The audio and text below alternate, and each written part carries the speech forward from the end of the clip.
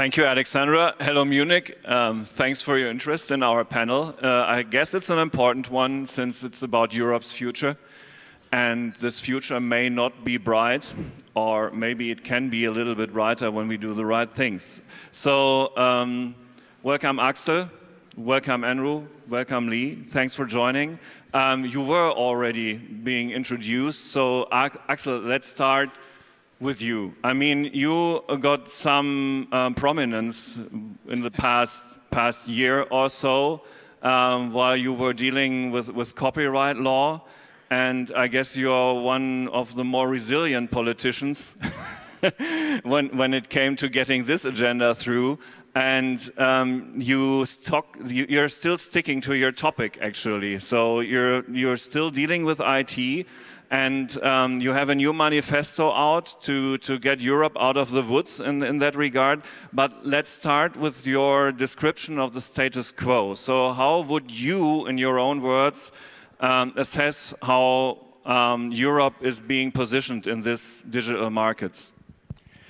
Thanks, Carsten, uh, for this introduction also, but um, I'm very much convinced, and Alexandra already told this, that we, if we are not changing ourselves, we are directly to become a digital colony of the US or of China. And uh, this is why, if, if, you're looking to the reality, and this was also mentioned by Alexandra, the, there's no European company in this ranking of the biggest 15 um, largest or market values uh, companies. Um, and if you imagine if Google decides tomorrow to switch off its services for Europe, then what might you see still on the screen? And uh, thirdly, of course, um, we are depending on software industry, on hardware industry, cloud services, and we, we so from foreign countries, foreign regions.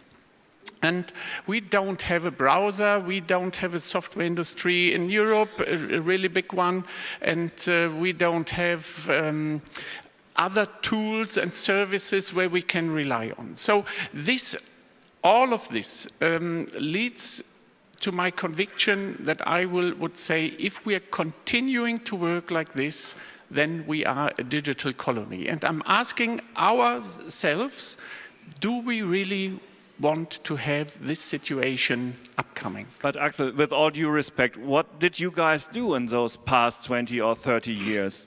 So we have done, yeah. No, no, no, no. We, we have done already a lot regarding data protection, regarding consumer protection, regarding improving um, the uh, cybersecurity. This is and, and, a lot of other things more. But having, or if you're concentrating on this, then you might see this is only to protect the status quo.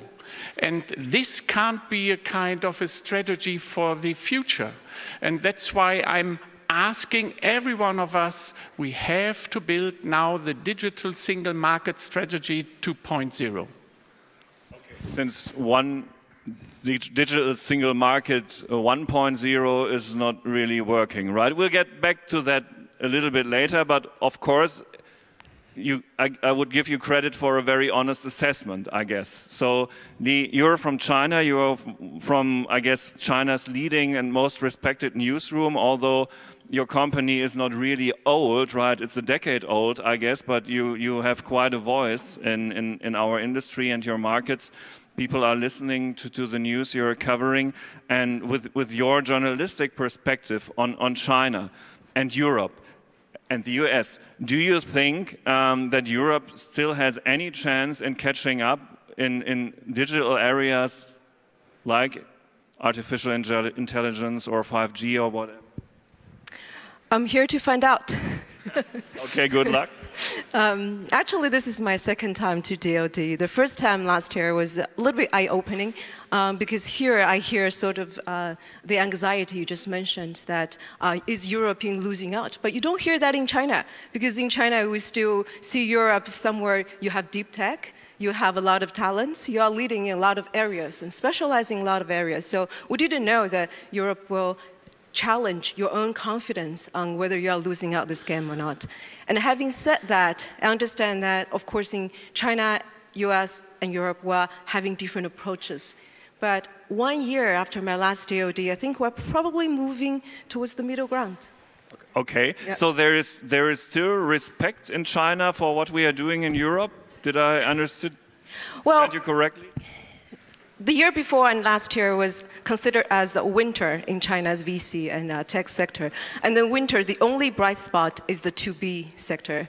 That is actually the to business. And the to business part is actually connected very closely to Europe or has a very strong potential uh, to collaborate with Europe. And um, Andrew will talk more about US, but everybody knows now US and China are actually not in the best terms. And that will actually... Not really. and that will prompt China to come to Europe more, look for technology, look for collaboration, look for more um, uh, ways to work together to build a system. Okay, Axel, that's good news. But before we get back to you, Andrew Keen, author, a DLD regular, um, a podcaster, keen on democracy, is um, your news project, I guess. Um, you will present a book right afterwards on, on that. Um, you're an outspoken critic of the market domination of, there it is already, um, of the market domination of big tech companies. So um, you, you should like what we are doing here in Europe since we only have small tech companies. Yeah. Well, you, you, more than that, you're doing nothing, which I love. And that Chinese, you know, that was the polite Chinese way, by the way, of saying that they don't think Europe's doing anything either. Right?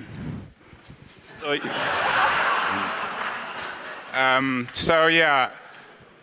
So I, I like what's. I, I, I, did this book, Tomorrow's versus Yesterday. I tried to convince Steffi to put that as the title for the DLD this year, and she she was going to do it, but then she changed it to what are you adding? And like Paul, when I first heard that, I thought that was stupid, but I actually like it now, and it's particularly relevant for this conversation. Because that's the thing. I mean, you know, I respect you, blah, blah, for all wanting Europe. I mean, anything with 2.0, you need to drop that. That's 25 years out of date. Um, but the, the, the real challenge for Europe is not, you don't want your own search engine or browser. Those are, again, archaic ideas. And I, I think it's wrong to even think of Google as a foreign company. I mean, it's a multinational company. I think the real challenge for Europe is what are you adding? And the challenge for Europe is doing things differently. It's not competing with China or the United States because you'll lose. So there are a couple of areas which I think Europe can not compete, but lead, pioneer. The first is, I think, in digital government. And I think rather than it coming through the EU, you need to be inspired by what the Estonians are doing and their attempt to rewrite a social contract around identity and trying to get rid of anonymity, which is, I think, the most corrosive element of the digital revolution. So Europe needs to lead there. And the other area where I think Europe can lead is in analog you know, everyone thinks that all the innovation is in digital. The reality is, I think we've known for generations now, is that digital is a commodity. And the real innovation in the 21st century will be in analog. So, for example, when it comes to politics, everyone talks about, um, everyone talks about digital democracy. That, I think, is a contradiction in terms. Where you're seeing the real innovation, for example, in democracy is in uh, citizens' assemblies, where Europe is leading. So I think Europe needs to work from its strengths. And when it talks about you know, trying to do AI or build a new search engine or browser, they're going to lose. Europe needs to be confident. It shouldn't be catching up. It should be leading, and it should be borrowing Steffi's term of what are you adding? What are you doing that's different? from both China and America. And the key area is in democracy, because America is a failing society, and China is pioneering a particularly chilling, creepy kind of Orwellian authoritarianism, where everything is watched by uh, a neo totalitarian state. So it's in this area that Europe can, can innovate and really add. Um.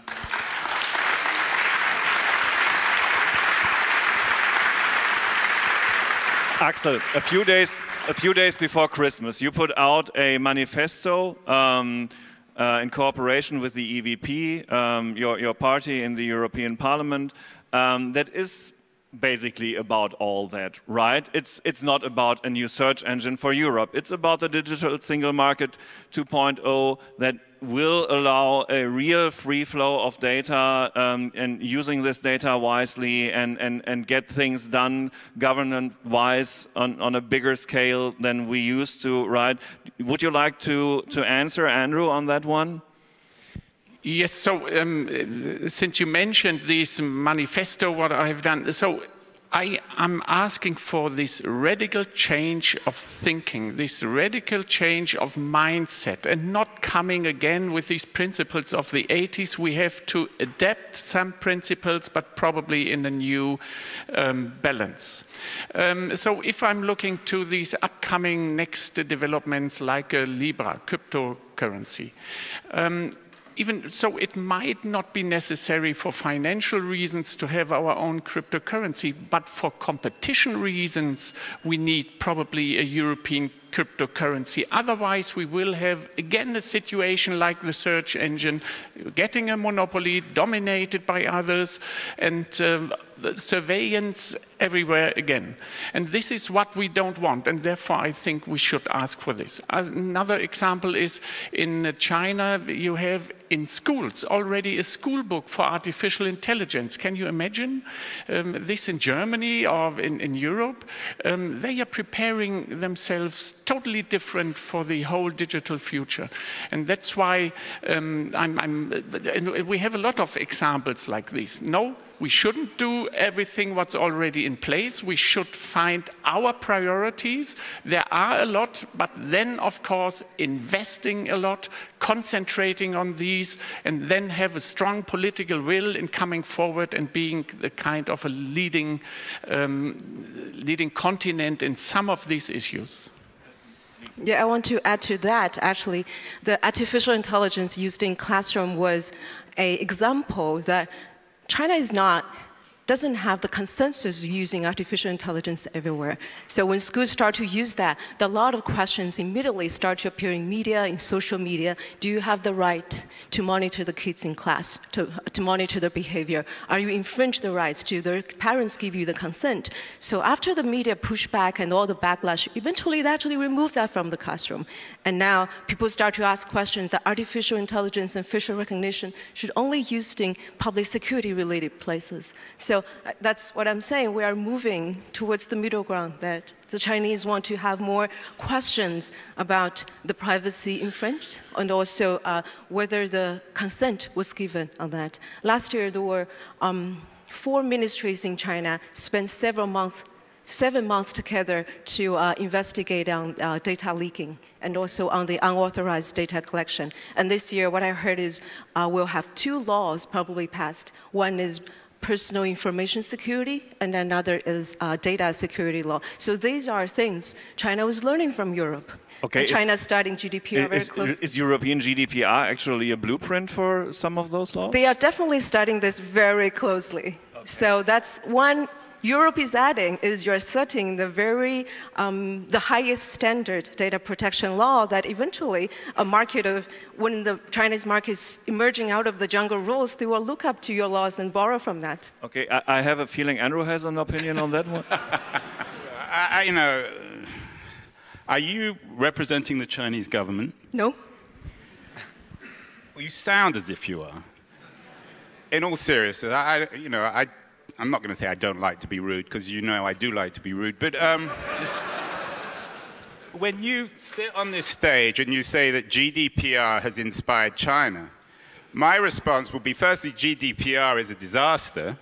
It's a, an example of bureaucratic government at its worst. And secondly, perhaps the reason why China likes GDPR is because it's so ineffective.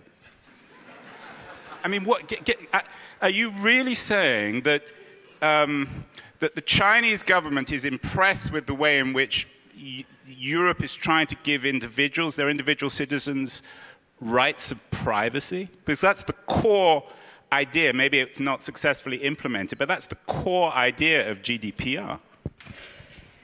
Um, at this stage, I think China has recognized that um, the, uh, the data as assets that the data as assets need to be under a regulatory oversight. Because for many years before, there wasn't under oversight, and there's a black market for selling that and abusive usage of that. Okay, but, but and then you say the assets, whether that's in the private hands or that's in the government hands. But the, there is a difference between the European government and the Chinese government. European, I don't mean necessarily Europe-wide, but individual European governments are democracies. And the Chinese government isn't. So when you give Ch the Chinese government what you call regulatory rights, you're essentially meaning that it, the citizens are giving up their privacy, their secrecy, their facial recognition, what they do, what they think, what they buy to the state. And in Europe, it's an entirely different thing. I mean, this is a very, very serious issue. It's probably the core political issue of the 21st century. So I think we have to be a little wary of, of, of, happy talk about China being inspired by GDPR.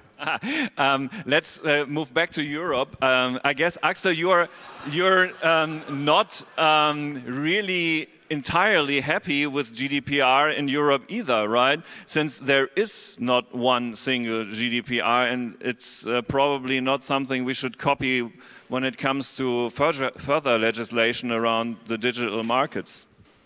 Yeah, so this is a disadvantage of uh, Europe, Europe if, if, we are coming to this legislative process. Even the GDPR has 60 opening clauses to the member states. And that's why I, we, we have to think now differently on all these digital aspects. We don't need a directive any longer. We need a full harmonization in one digital single market in Europe. And uh, so we are already have a disadvantage because we are splitted, by, composed by 27 um, member states with other traditions, other legal structures, etc. And we are trying to fix these on this European level, but it could be done better. But isn't, is, in all seriousness, I'm not a Brexit person. I, I, I didn't vote, but I would have voted for the UK to stay within the EU. But on the other hand, what you're saying actually reflects the problem with Europe, is that you don't have a political union, you have an economic union, with some people wanting to go further politically than others. And the reason why there is no common digital policy in Europe is because you don't have a political union. And all the innovation in Europe is, is happening on the edge. Again, I mentioned Estonia. We talk about education, educating in AI. There's lots of excellent AI education, for example, in Finnish schools or in, or, or in Swedish schools. So I think the problem with this conversation and the problem, uh, well, while I think your, your, your manifesto is well-intentioned, the reality is that Europe will only catch up and be able to compete at the individual state level because that's the political reality. And in David's session earlier, the only European companies that were mentioned were the Oxford and Cambridge ones, which are no longer part of Europe. So unless Europe can fix its problem, its identity problem, and the reality of the EU never extending beyond an economic union, you're never going to have a digital policy. so it, was, I'm, I'm, um, it seems that you're contradicting a little bit yourself. You're saying GDPR is a piece of shit on, on one hand side, and the other side is. Um, Why is that a contradiction? Saying, and then you're saying uh, we, we should concentrate on, on human-centric issues or approaches. No, state, not human, state, individual states. And I yeah, think another reason why GDPR is a failure because it took years to implement because it was another example of inefficient Brussels bureaucracy.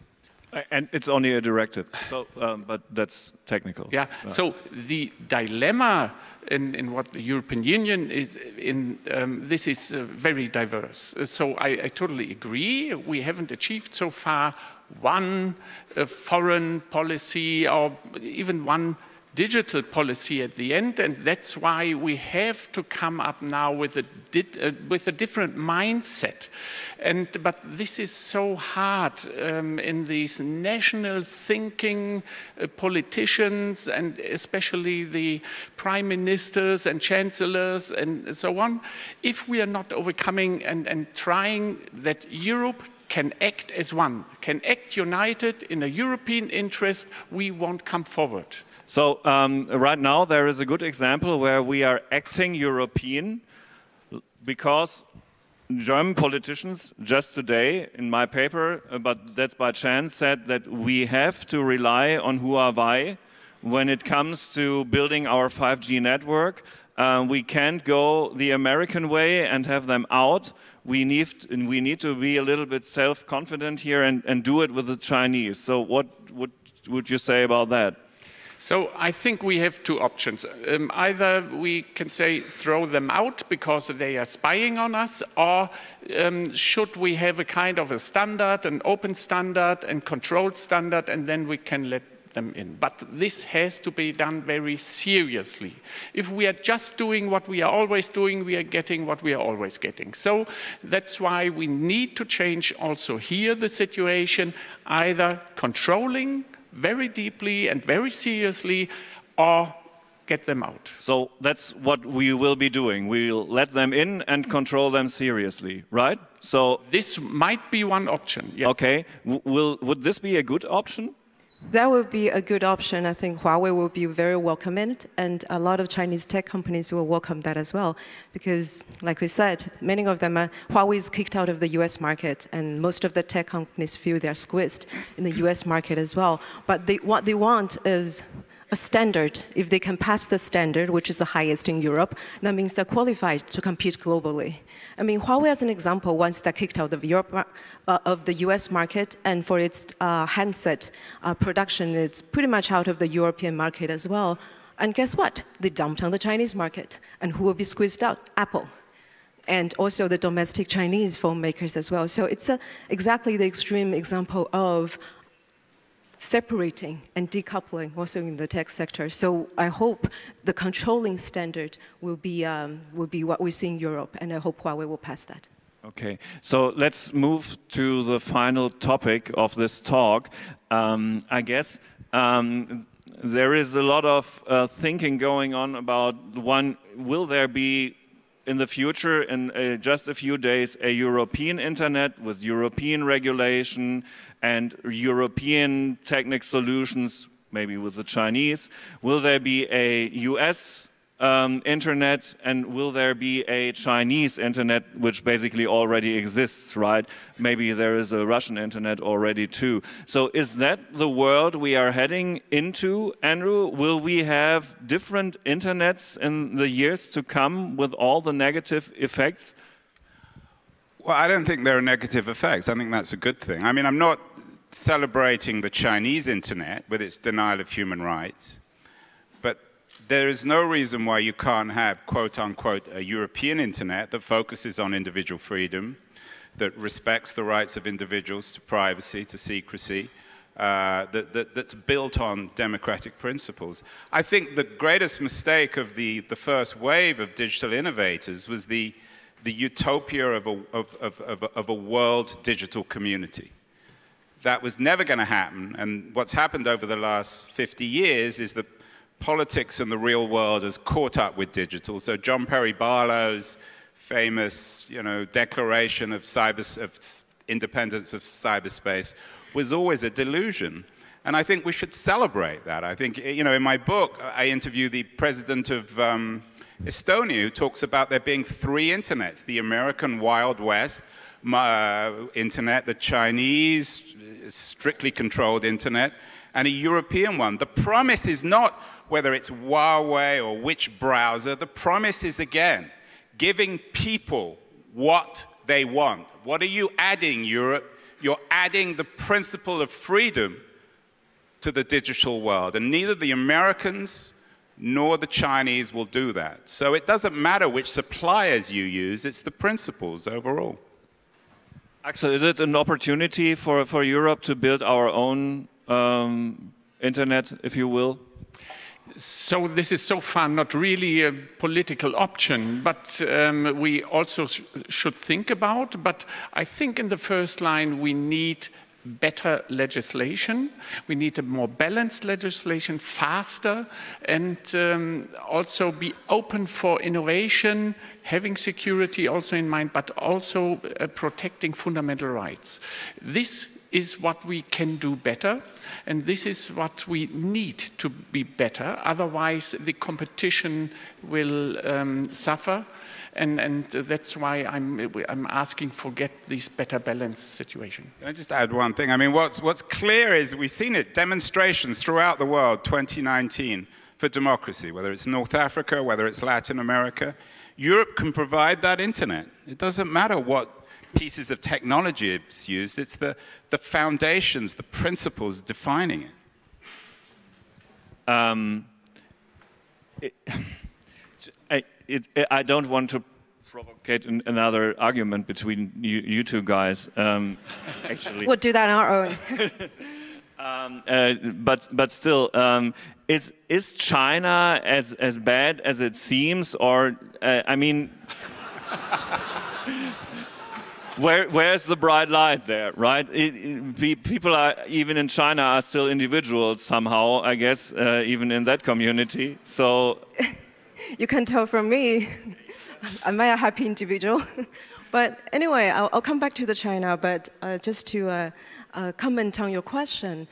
If the world has two systems, Europe, US, China, the world is much larger than the three blocks the other countries, for each one of the block, they may have their right and the, the size of the market to build up their own system, but for, for the rest, they may be forced to build three systems. And that will be a lose-lose for the rest of the world. So maybe for them, the ideal world will be have the European principle and respect of individualism, right. have the US infrastructure and technology innovation, and maybe the Chinese companies' agility to adapt to the local markets. So I hope that will be in the ideal world that will happen. I don't know if that's the digital community that Andrew was mentioning. But the thing in China is, I mean, I'm from the media, and media is one of the most tightly regulated sector in China, but we still do our job. And I think the same with technology is, there are a lot of challenges, a lot of obstacles, but there are also a lot of hopes. What has changed, what has happened in uh, the last 30, 40 years, people uh, always have hope and uh, have resilience and um, optimism that using the example that I just mentioned, that you think once the, uh, uh, the, the, digital facial recognition will be used everywhere, that um, in the classroom, in a lot of pri even private situations, but there are pushbacks. Okay. Yeah, there is uh, the civil society pushback when it's going overboard. Thank you so much for joining into a real conversation. That's what I was hoping for. Um, thanks for achieving that. Thanks for listening in, and our time is, is over. Uh, let's keep our fingers crossed for, for Europe getting, getting into speed. Um, we'll check back next year. Thank you, Axel.